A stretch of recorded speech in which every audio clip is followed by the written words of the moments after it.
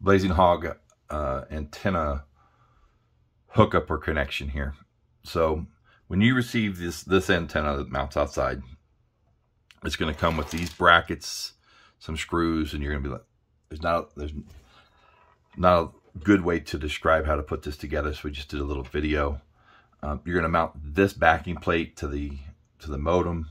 I'm sorry, to the antenna. You just use these bolts and you've got a regular washer and a lock washer. Just make sure that the regular washer uh, or the, the, the lock washer is sandwiched in between the regular washer and the head. Flip it that way so you can see.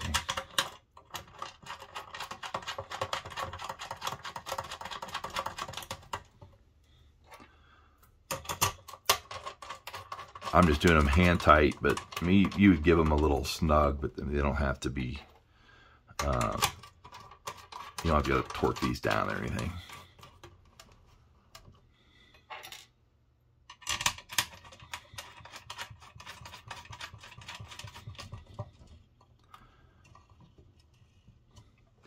And this is generally where we get the greatest amount of confusion from people is when they go to mount this um, to this plate, this simply goes around whatever pipe uh, you're going to be using to mount it to. This plate goes in so that you've got this little curved surface facing your pipe.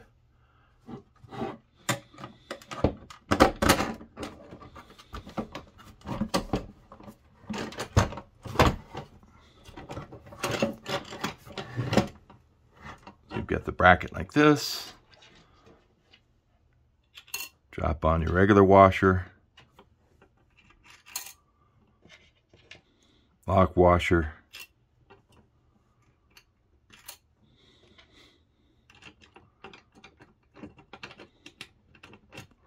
Of course it wants to cross thread, but I'm doing this.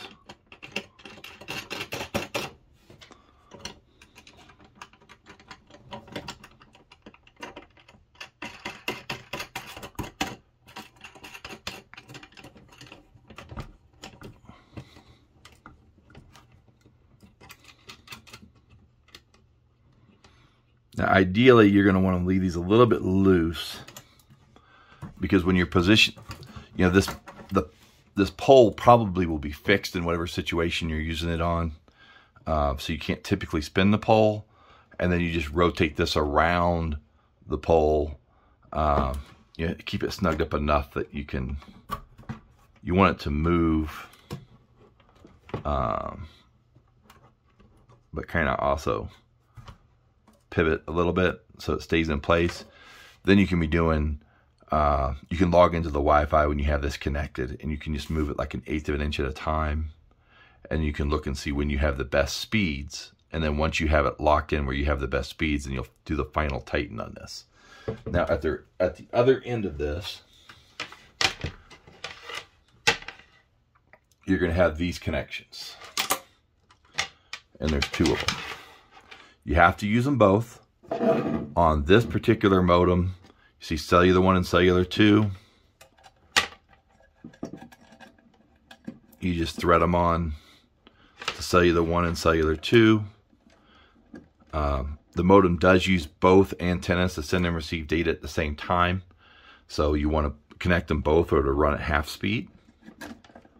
Uh, some modems have a little bit different type of connection. If you have a modem from us that looks like this, um, it has what are called TS9 connections, and you'll see this main and div.